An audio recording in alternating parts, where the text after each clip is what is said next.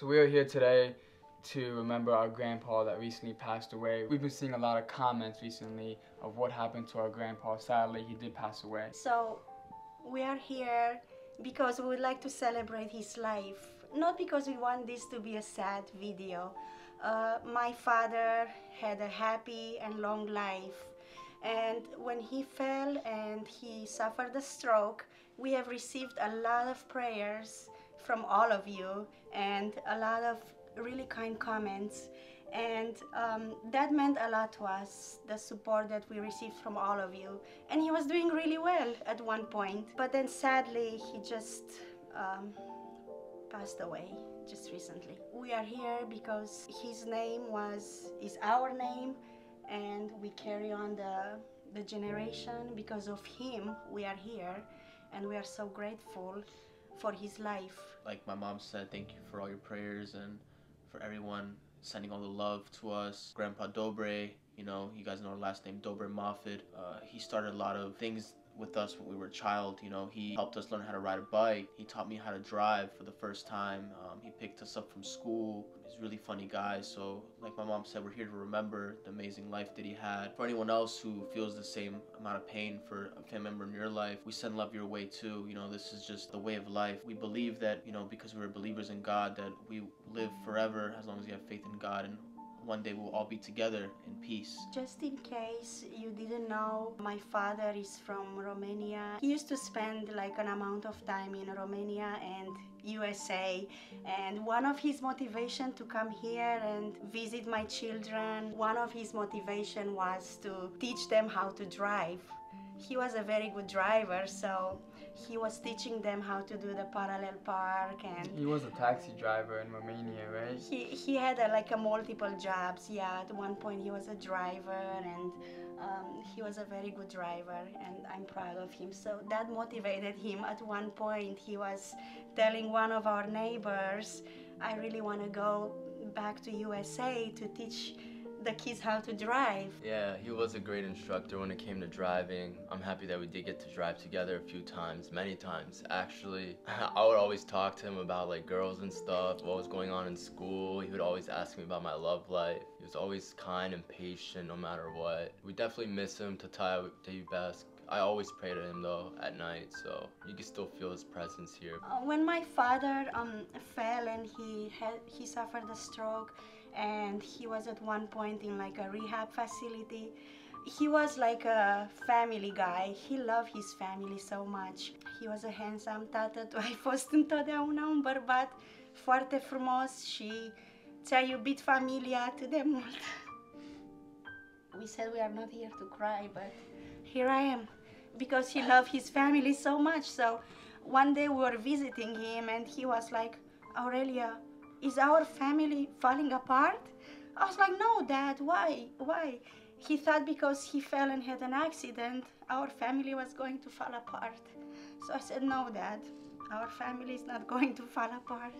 I remember he used to pick me and Marcus up and take us to our basketball practice. Like, he used to always be there for us too. Yeah, he was like our second dad. Like, when you guys uh, had Yeah. work, like, he used to always take care of us when you guys would work and stuff. So. Yeah, when we used to work in the gym, he would.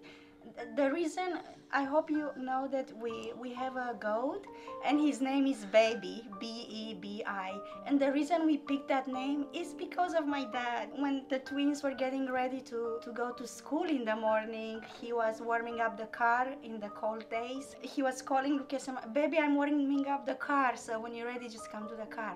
So when we're thinking about naming our That's goat, crazy. That's true. I never thought Yeah. of that. He was like, yeah. baby. He was like, baby, baby, Yeah. uh, vă aștept în mașină, tataia. Hai, tataia, să nu întârziem de la autobuz.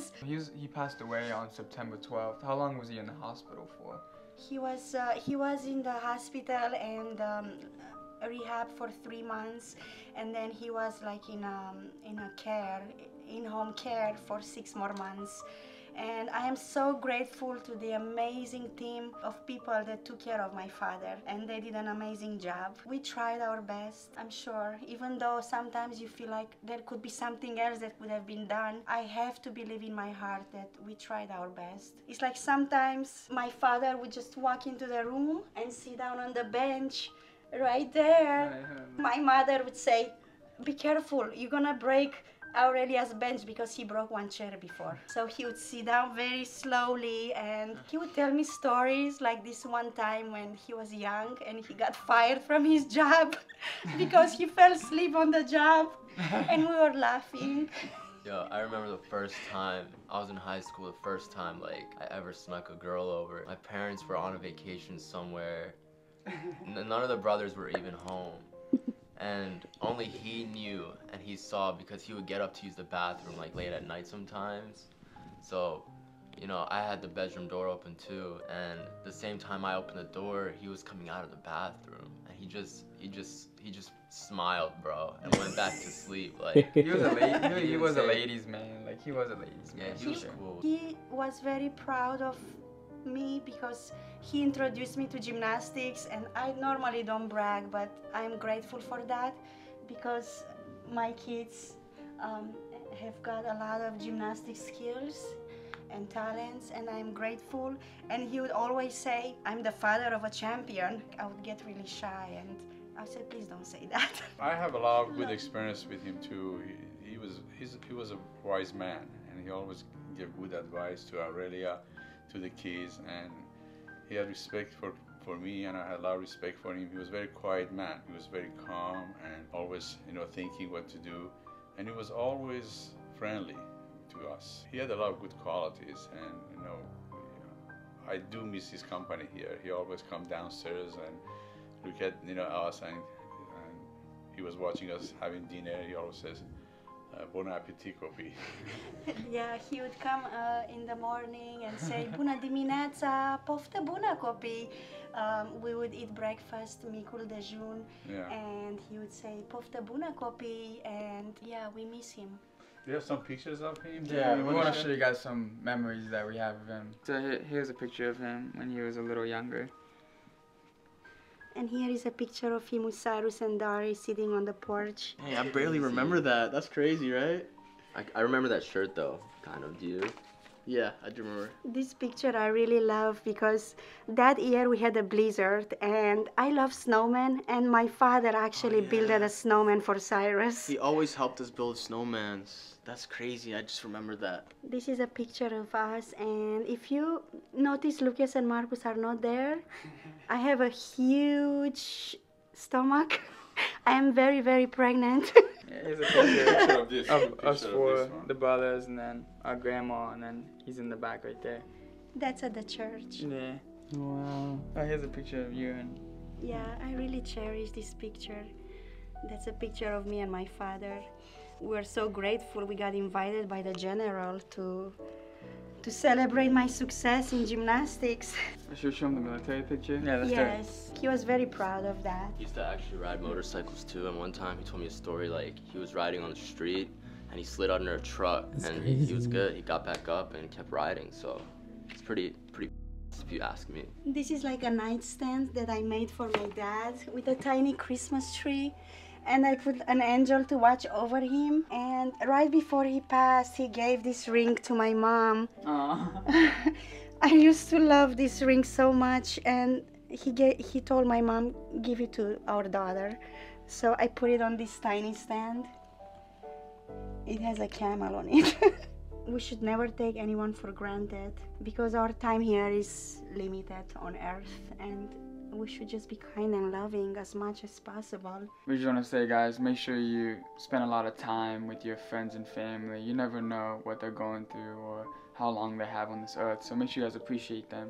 It's all about friends and family. I want to say I love you tataie, te iubesc, mulțumesc pentru tot și noi suntem familia lui tău și we're gonna see you one day and yeah, enjoy every moment. Every moment is precious in life. It goes by fast and um, you know, really appreciate those that love you. You know, you're not alone. We're on this world together and enjoy your loved ones. That's all I gotta say. I would say have respect for your father and always be supportive of your father and do whatever you can while he's alive. Make him happy. You only have one father. Dad, I would like to thank you for who I am today because you are the one that introduced me to the sport. Please forgive me if I haven't always been a good daughter. I know I went through some rough patches in my teenager years. I love you. Te iubesc foarte mult. Love you, Grandpa. Thank you so much. Uh,